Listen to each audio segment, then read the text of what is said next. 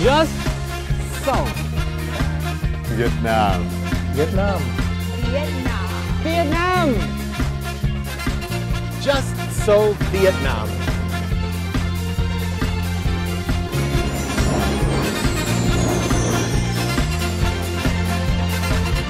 Hi everybody, hello and welcome to Just So Vietnam, a Vietnam travel guide and a guide to the way of life here. In the next 10 minutes we're going to explore modern day Vietnam through the eyes of expats who call it home. Here's the headlines for today's show. Magical net to prevent mosquitoes? Let's go with Sam to find out more in Just Ask. Later on in Just Try, trekking in Phong Nha Bang in Quang Binh is an experience you should try to challenge yourself and enjoy the magnificent sceneries. And last, our useful travel tips when exploring Quang Binh. You are curious about Vietnam. Let's ask, and Mr. Questioning, Sam Patterson, will give you the answers about life and travel here in Vietnam.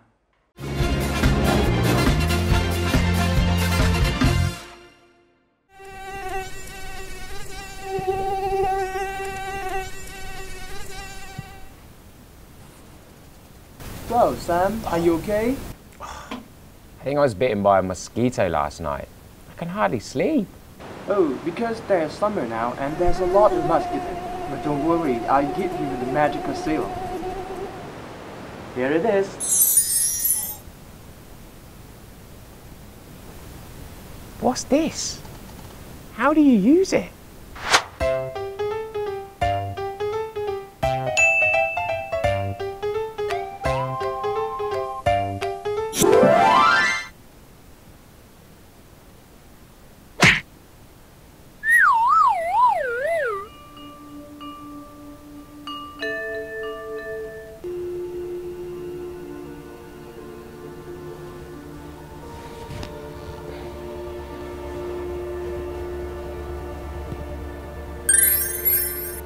Are you? It is I, the Knight of the Anti-Mosquito Alliance. I see. You are having some problems with the magical shield. Am I right? Yes! You fool! You don't need to wear it as some sort of clothing. You should hang it up around your bed. That is the best way to use the shield. Okay, I'll do it.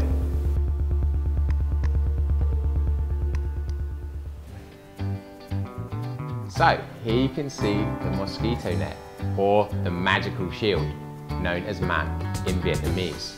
It can be used to keep out mosquitoes and other bugs, meaning that you can have a peaceful night away from the evil horde of the mosquitoes.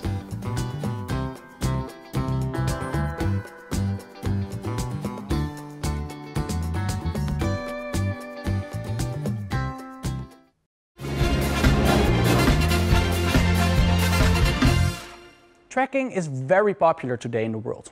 In Vietnam, people often go trekking in the hilly areas with many rivers, streams, and forests.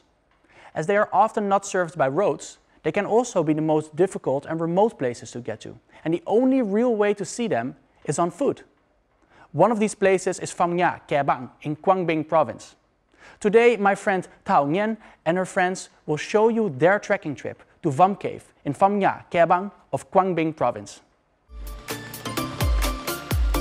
Trekking is a form of walking undertaken with the specific purpose of exploring and enjoying the scenery. If you are the person who loves adventure and experiences, you cannot ignore trekking. And in this episode of Just Try, let's follow me to your trekking trip. Let's go.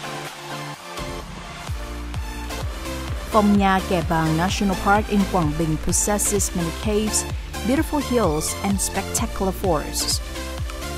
During this trek, my friends and I had to walk 15 kilometers through the jungle and climb mountains to reach Vom Cave, and then hike through 500 meters of the dry part, and finally swim in the wet cave. Trekkers must be careful and well equipped because there are many insects in the forest and sharp rocks which can cause injuries. Có đoạn qua đá tay mèo ờ, rất là khó nhưng mà cảm giác rất là hấp dẫn có đoạn thì đi qua cái đoạn rừng bằng phẳng thì ờ, có nhiều cái cung bậc cảm xúc. Um, in the beginning it was very hard because you have to think where you place your feet and um, our country is entirely flat. So here we have to climb hills and uh, rocks. So that was something we had to get used to, but now it's pretty fun. Occasionally, during a trek, you may suddenly find some kinds of forest fruits that can be tasted or special leaves that can be cooked. Whoa, nature in Phong Nha, Kebang is really miraculous. It's so amazing, I really want to try. I wish I could enjoy the trip.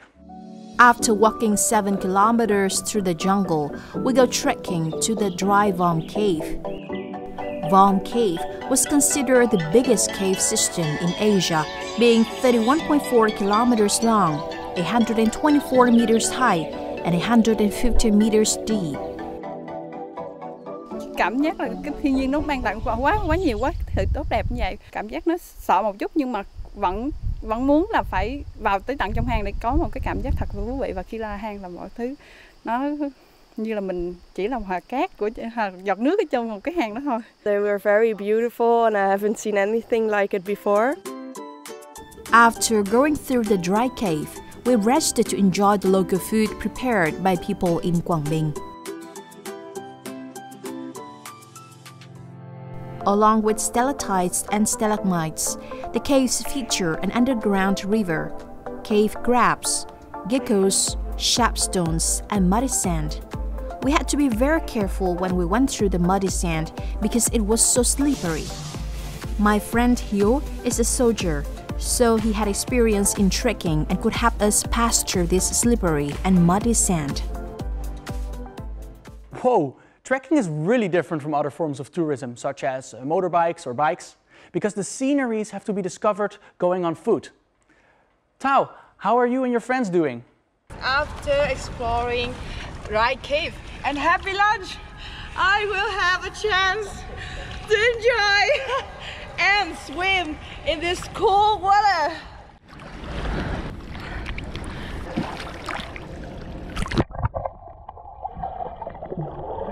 It's great, not cold anymore. How do you feel? How I'm feeling great. Yeah, it's relaxing and thrilling at the same time. Một cái suối trong After swimming through the wet cave, my friends and I conquered the remaining four kilometers of mountain and jungle roads to end the trekking journey. This trekking trip was really an adventure. We had a chance to have a getaway from civilization, challenge ourselves by struggling through heavy rain in the forest, climbing sharp rocks, and swimming in water too deep for us to touch the bottom. This trip will give us unforgettable experiences.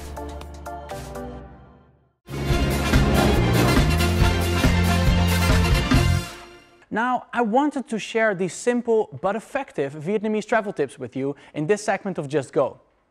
Besides Phong Nha Kebang National Park, Quang Binh is also famous for its white sandy beaches, sand dunes, hot streams, and many more.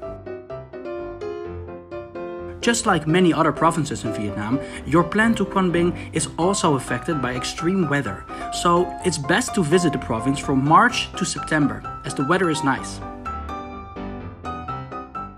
Visitors can access the province by road, rail, air, and sea. Remember to bring along sunscreen, hats, and sunglasses, as Quang Binh is called the land of sun and wind. In Quang Binh, you can try many delicious local dishes, such as banh loc, bang nam, banh xeo, crab soup, and all kinds of fresh seafood. So make sure to have the most fun during your trip to Quang Binh.